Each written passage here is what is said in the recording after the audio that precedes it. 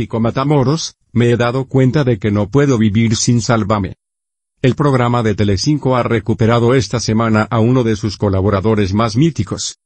Esta semana Kiko Matamoros aparecía en el plató de Sálvame pero no lo hacía con su sección semanal de defensor de la audiencia.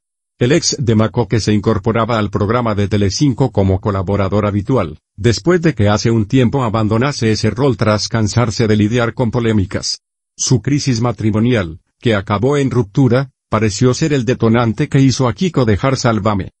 Me he dado cuenta de que no puedo vivir sin esto, declaraba este viernes Kiko Matamoros durante el programa. El colaborador de Sálvame ha explicado que abandonó el programa en un momento de crisis. Estaba muy cansado, muy saturado.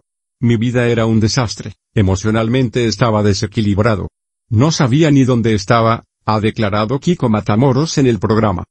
Belén Esteban, que arregló sus diferencias con el colaborador después de un tiempo distanciados, se ha mostrado muy contenta con su regreso al programa. Yo estaba muy harta y estoy contenta de que nos llevemos bien. Estoy contenta de que hayas vuelto, ha expresado la colaboradora de Sálvame.